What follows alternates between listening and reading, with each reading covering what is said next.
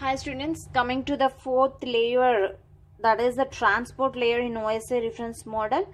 So the name itself is indicating that we are transporting the information, we are sending from source to destination. So everyone is sending, the network is sending, the data link layer and everything is sending the information. Then what about this transport?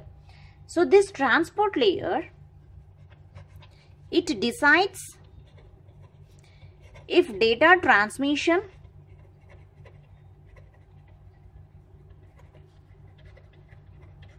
should be parallel or a single path. So the first thing is the transport layer, eh, it is deciding the data transmission should be traveled in a parallel path or in a single path. Traveling the data in a single or a parallel and this is the one function that it is doing. And next the functions such as multiplexing segmenting splitting on the data are done by this layer. Okay? Multiplexing means the combining or splitting means the dividing of uh, on data or done by this layer so this layer is not only transmitting, selecting the path and also it is doing the work of multiplexing and splitting on data. And next what it is doing? It provides additional quality of service. Provides additional quality of service. Okay.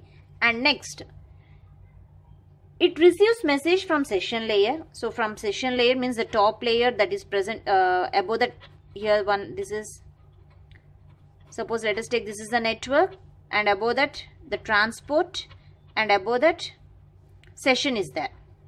So it receives a message from session layer and converts that message into smaller units and it passes it to the network layer. So take large data and splits splits the data into small units and transmit to network layer. So it takes the large data from session layer and splits the data into small units and pass into the network layer.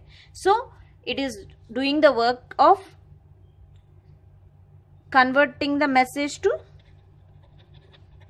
message to smaller units. Okay. And next it is responsible for end-to-end -end delivery of complete message. Responsible for end-to-end -end delivery of complete message. So this is doing so many uh, functions. Means it, it decides in the whether we have to send the data parallel or single path. And it also selecting uh, it is multiplexing and splitting the data. And also it provides the quality of service. And it converting the message to smaller units. And it is responsible for the end-to-end -end delivery. So these many functions it is doing the uh, this transport layer is doing. So that's why we call it as a heart of OSI model.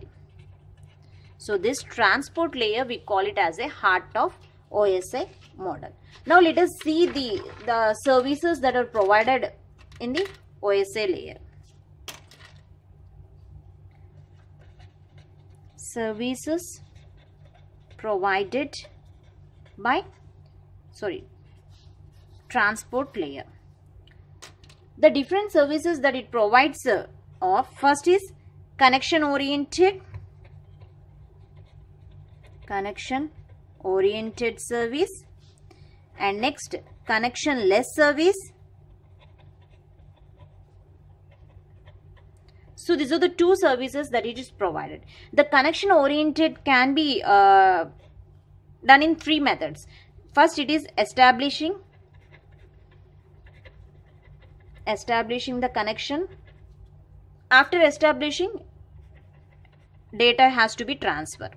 Okay once we establish the connection so there is a connection between one layer to the another layer and the same time from one host to the another host. So after that the data has to be transferred. After transferring the data it has to be disconnected. So that is a connection oriented means it is operated in three phases so whereas connectionless it is having only one phase what is that one phase that one phase is the just data transfer. The connection uh, uh, connectionless service is no need to establish the connection. Okay and no need to disconnect the connection. Whenever the data is there you just simply transfer the data. So that's why it is very fast data transfer. Very fast data transfer will be take place in connectionless services and this transport layer is mainly it is operated it is operated by operating system. So i already said the the transport layer and the session layer and the application and the presentation layers are comes under the software. So that's why uh, this uh, transport layer is operated based on the operating system. The help of operating system it will be operated. Thank you